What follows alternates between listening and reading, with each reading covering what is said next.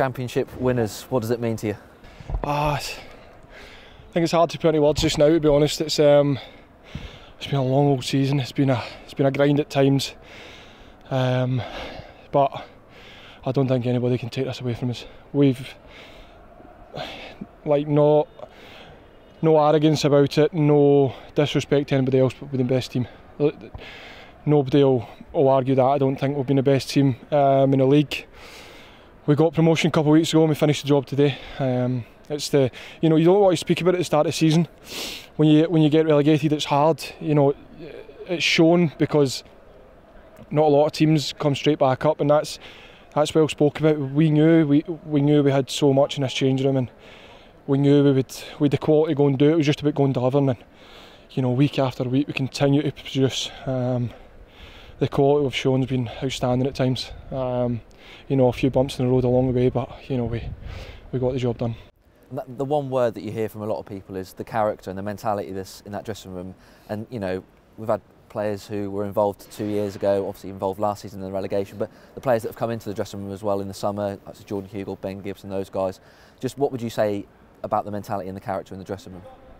I don't think we need, we, we need to speak too much about it. You see it every week. It's, you know, you mentioned Hugo and, and Gibbo there. Um, they had, like, they, that's two, Stuart and the boss, they, they know what kind of player to bring in, but they know what kind of person to bring in.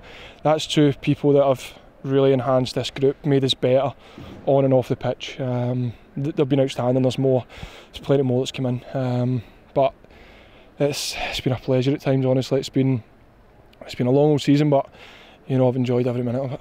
And to do it today, you know, playing against a decent Reading side and putting the cherry on top of the cake with a 4-1 win, that makes it extra special, doesn't it? Of course. Uh, at, I mean, I don't, I don't know how Reading have found themselves outside the top six. I think they should be there. To be honest with you, they're a good team.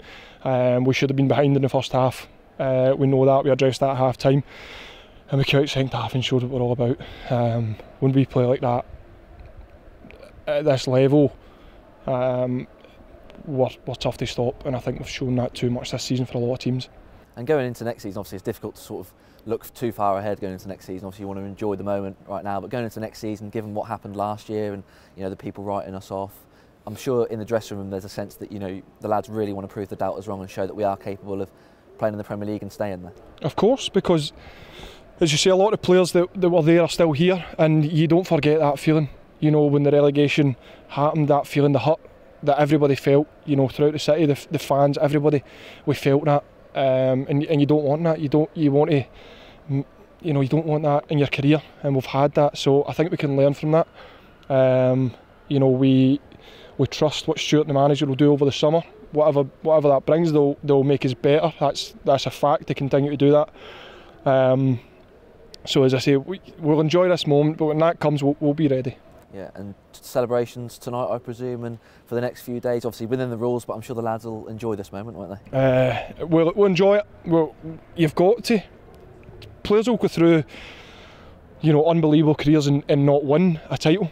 Um, you know, we'll enjoy this for what it is, but like a lot, Tets is this is his third time promotion. Um, you know, a lot of us won it a couple of years ago.